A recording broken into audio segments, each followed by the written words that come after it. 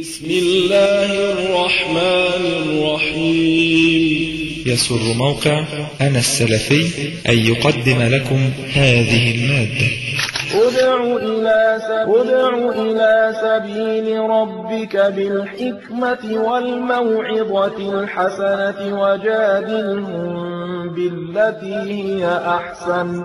إن ربك هو أعلم بمن ضل عن سبيله وهو أعلم بالمهتدين الحمد لله وأشهد أن لا إله إلا الله وحده لا شريك له وأشهد أن محمدا عبده ورسوله صلى الله عليه وآله وسلم. أما بعد يقول له صديق عند ولاده طفل أو احتفال يقوم باستدعاء شباب يقرؤون القرآن فردا فردا جهرا ثم يأكلون بعض المأكولات. هل هذا من السنة؟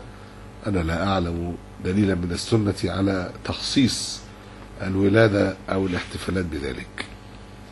ننصحهم أنهم إذا اجتمعوا قرأ أحدهم وسمع الآخرون أو قرأ أحدهم وفسر أعلمهم كما كان الصحابة يفعلون. والله المستعان. أو جلسوا كل منهم يقرأ في نفسه. ولو قرأوا جميعا على سبيل التعليم وأحدهم يصحح لهم قراءتهم فكان حسنا.